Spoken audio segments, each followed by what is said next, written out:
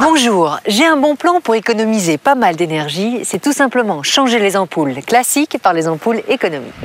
Et eh oui, les ampoules classiques gaspillent 95% de l'énergie consommée en chaleur. D'ici 2012, elles ne seront plus commercialisées. Les nouvelles technologies débarquent et fonctionnent toutes différemment. On commence par les fluocompacts.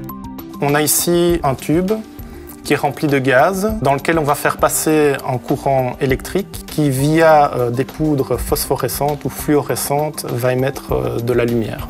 Ensuite, il y a les nouveaux halogènes et enfin les LED pour lesquels le courant traverse un composé électronique, ce qui produit aussi de la lumière. En plus, ce qu'il y a de bien, c'est que ces nouvelles ampoules sont compatibles avec nos lampes et sockets actuels. Il suffit donc de les changer et de profiter d'importantes économies d'énergie.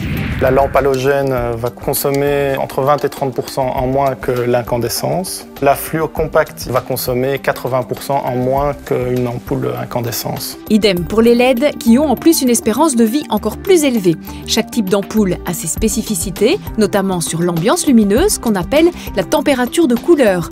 Et pour la puissance lumineuse, l'indication des lumens donne une bonne base de comparaison. Pour s'y retrouver, sachez que toutes ces informations doivent être mentionnées sur les emballages de ces nouvelles ampoules. Vous pourrez donc les comparer pour économiser de l'énergie et de l'argent. Et ça, c'est un bon plan.